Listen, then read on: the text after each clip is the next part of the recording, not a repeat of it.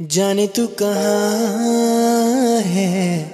उड़ती हवा पे तेरे पैरों के निशान देखे। नमस्कार दोस्तों, मेरा नाम है मनोज और आप देख रहे हैं मेरा YouTube channel travelling camera video शुरू करने से पहले अगर अभी तक आपने मेरा चैनल सब्सक्राइब नहीं किया है तो प्लीज़ जल्दी से सब्सक्राइब कर लें।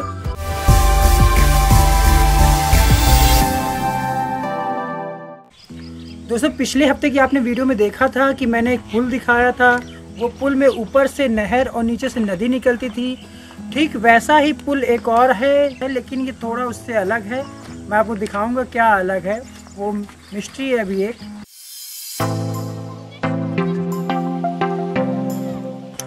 दोस्तों, ये जो आप रेलिंग देख रहे हैं, ये जो बाउंड्री देख रहे हैं लोहे की, पिछले वाले वीडियो में जो मैंने पुल दिखाया था, उसमें ये बाउंड्री टूटी हुई थी। टूटा कहें या फिर चोर चुरा ले गए थे? आ, ये बता नहीं सकते हैं लेकिन देखिए कितनी खूबसूरत है कितनी मज़बूत है। इसका भी मैं आपको थोड़ा वीडियो दिखाता हूँ।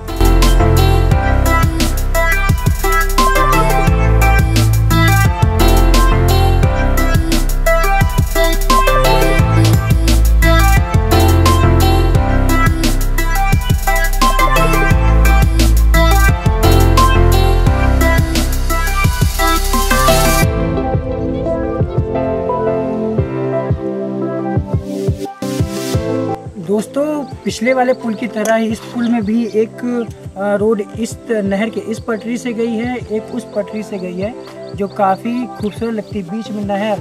सोचने से ही आपको समझ में आ रहा हो कितना खूबसूरत लग रहा है। हम लोग यहाँ हैं, रियल में इसे देख रहा है, इतना खूबसूरत पहले कभी नहीं देखा। तो चलिए अब आपको हम नीचे ले चलते हैं। वहाँ भी एक स्पेशल चीज़ है, जो उस पुराने वाले पुल पे नहीं थी।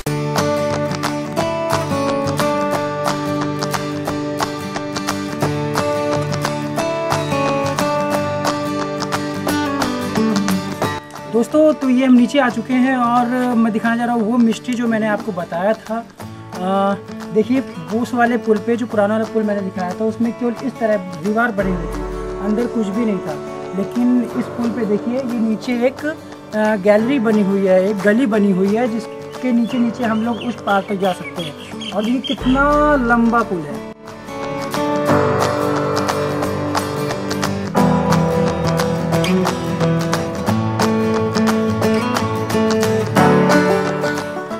दोस्तों ये लखनऊ के भूल भुलैया जैसा कुछ रास्ता यहाँ का दिखता है। देखिए कितना लंबा सुरंग टाइप का है।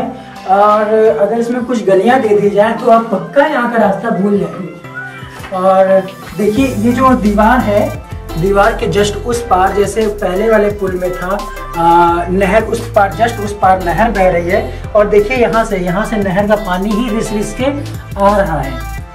और नीचे नदी है। आ, नदी पूरी तरह सूख चुकी है। जैसा कि मैं पहले दिखाया था, वही नदी है ससुर कदेरी नदी ही है। पूरा सूख चुका है, यहाँ का पानी भी।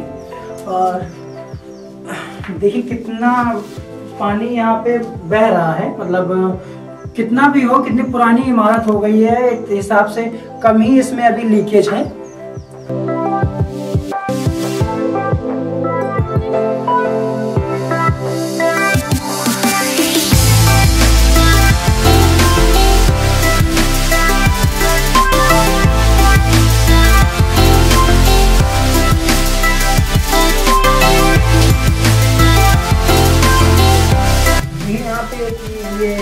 गड्ढा बना हुआ है, पाइप लगी हुई है अब इसको खाली नहीं है।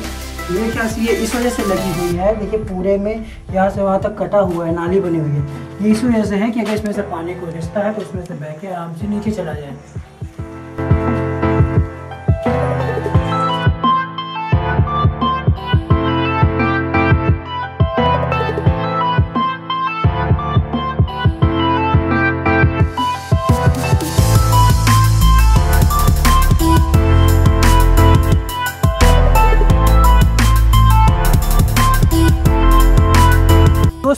वीडियो को अब करते हैं यहीं पर समाप्त, और आपसे अब विदा लेना चाहेंगे।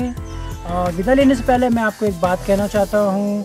अगर आपने अभी तक मेरा चैनल सब्सक्राइब नहीं किया तो प्लीज़ सब्सक्राइब कर लें, जिससे मैं ऐसी ही नई नई जगह, ऐसी ही रहस्यमयी जगह जाकर मैं आपको वीडियो दिखाता रहूँ। और अगर आपको वीडियो पसंद आती है तो प्लीज़ इसे लाइक करें, शेयर करें।